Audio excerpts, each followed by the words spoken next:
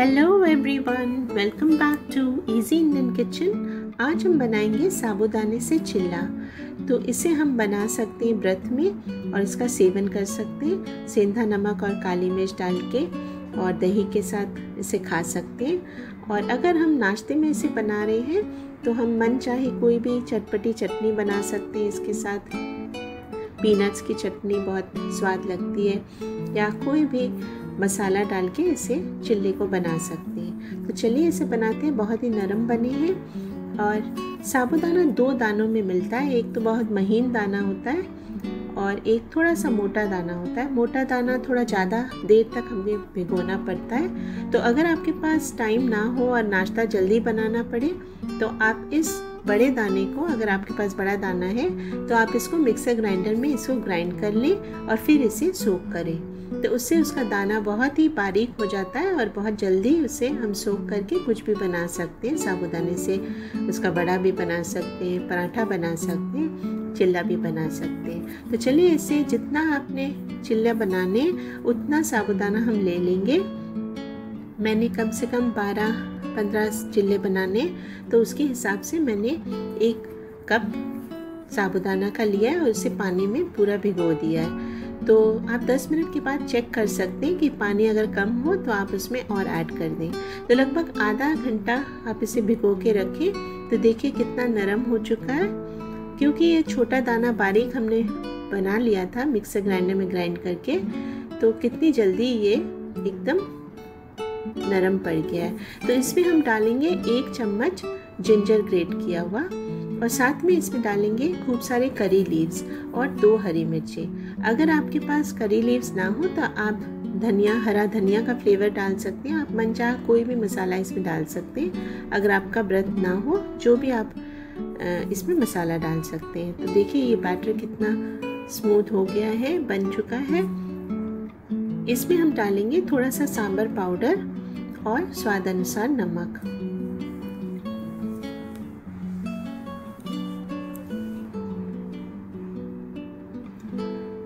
तो एकदम ये बैटर स्मूथ जैसा तैयार हो चुका है।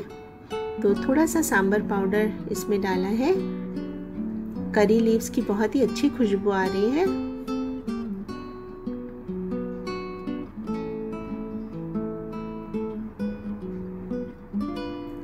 स्वाद अनुसार नमक। बैटर बहुत ज़्यादा हो गया तो थोड़ा सा मैं निकाल लेती हूँ इसे।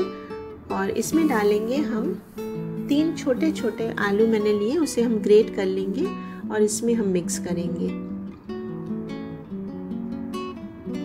व्रत में भी हम आलू इसमें डाल सकते हैं। तो सेंधा, नमक, काली मिर्च और आलू डाल के हम इसे बना सकते हैं, चिल्ला और दही के साथ सर्व कर सकते हैं। तो इसे हम आलू को पहले ग्रेट कर लेंगे और उसके साथ फिर बैटर के साथ मिक्स करके फिर चिल्ला बनाएँगे।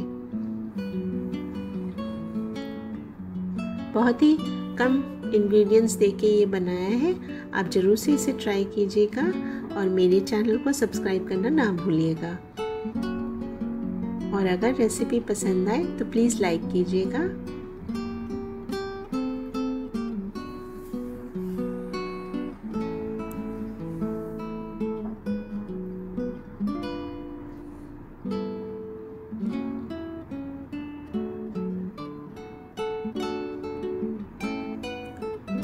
आलू को थोड़ा ग्रेट करके डालने से अच्छी तरह से मिक्स हो जाते हैं। तो चलिए हम इसे मिक्स कर लेते हैं।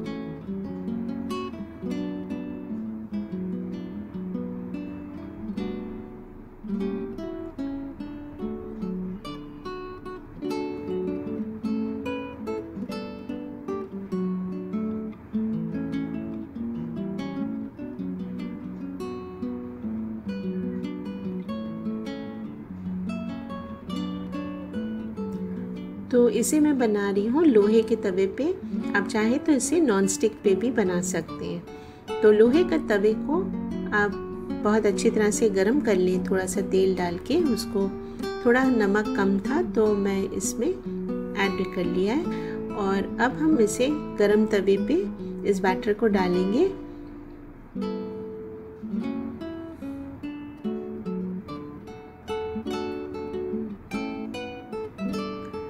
और स्लो आँच में इसे तीन से चार मिनट तक एक साइड को पकने देंगे और फिर हम इसे फ्लिप करेंगे।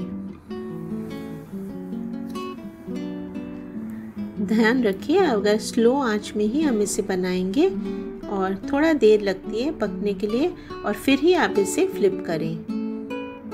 जब एक साइड ये पूरा पक जाएगा तो ये अपने आप ही फ्लिप कर देंगे हम। अपने आप ही ये फ्लिप आसानी से हो जाएगा, नहीं तो टूट जाएगा। तो इस बात का आप ध्यान रखें।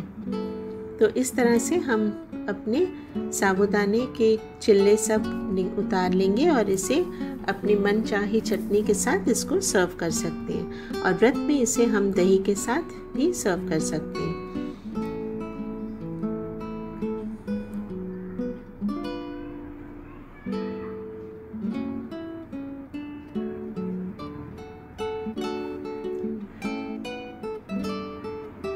तो हमारा चिल्ला तैयार है, इसे हम सर्व करेंगे दही के साथ। आप ज़रूर से इसे बना के व्रत में भी खाइएगा और ऐसे भी आप नाश्ते में इसे सर्व कर सकते हैं। So friends do take good care of yourself stay safe stay healthy and productive thanks for watching my video bye bye